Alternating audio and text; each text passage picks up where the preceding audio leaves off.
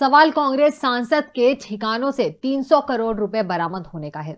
इसलिए भाजपा ने कांग्रेस का पुतला जलाया और कहा, भाजपा सरकार का पहला लक्ष्य भ्रष्टाचार को खत्म करना है। झारखंड में कांग्रेस के राज्यसभा सांसद के ठिकानों पर हुए आयकर विभाग के छापेमारी के दौरान 300 करोड़ रुपए की नकदी बरामद होने के मामले में काशीपुर के महाराणा प्रताप चौक पर भाजपा नगर मंडल अध्यक्ष अभिषेक गोयल के नेतृत्व में भाजपा कार्यकर्ताओं ने कांग्रेस पार्टी का पुतला दहन किया।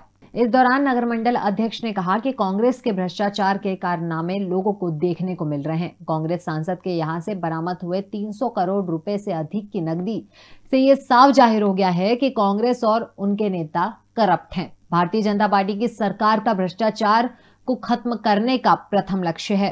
भाजपा नेता राम मेहरोत्रा ने कांग्रेस को भ्रष्टाचार वाली पार्टी बताते हुए कहा कि देश में भ्रष्टाचार को बढ़ावा देने में कांग्रेस का सबसे बड़ा हाथ है। सांसद है यहाँ आयकर विभाग का छापा पड़ा है और भारी तादाद में काला धन इसकी गिनती लगातार जारी है। इसके खिलाफ आज आपको भारतीय जनता पार्टी के कार्यकर्ताओं द्वारा सभी मोर्चों के साथ मिलकर कांग्रेस पार्टी का और धीरज साहू का पुतला दहन किया गया है।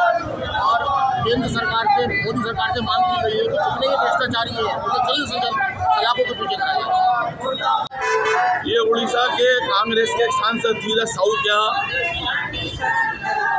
इनकम टैक्स का छापा पड़ा, उसमें करीब 225 करोड़ रुपए अभी तक पकड़े जा चुके हैं और अनुमान ये है कि 750 करोड़ रुपए का ये घोटाला है और ये 750 करोड़ काला धन कांग्रेस के सांसद के पास पकड़ा गया है। इसलिए कांग्रेस का आज हम लोगों ने पुतला फूका है। धीरज साहू का पुतला फूका है। और लगातार कांग्रेस के सांसदों के पास, विधायकों के पास, कांग्रेस के लोगों के पास काला धन निकल रहा है, जो आपके सामने लगातार आ रहा है। और हमारे मोदी जी कह रहे हैं कि मैं देश में काला धन नहीं रहने दूँगा उसका एक प्रमाण है।